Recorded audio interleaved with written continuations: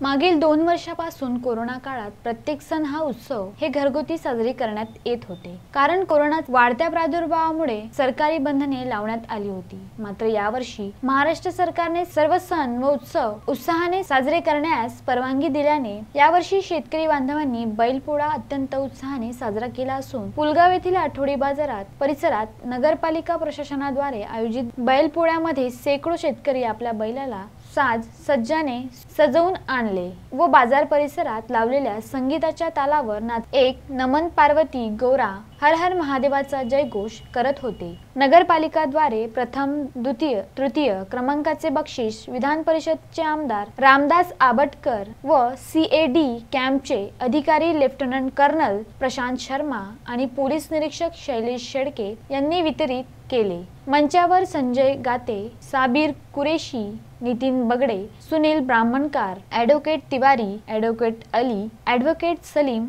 advocate Bhargav बांधकाम अभियंता जयस्वाल स्वच्छता निरीक्षक मनोज खोडे नावलाखे सुनील मलिक नगरपालिकेचे अन्य कर्मचारी उपस्थित होते. परीक्षण धर्मेंद्र अंबादे यांनी केले तर संचालन राखुनडे व विठ्ठल वानखडे यांनी केले. अश्विन शहा विदर्भ न्यूज पुलगाव.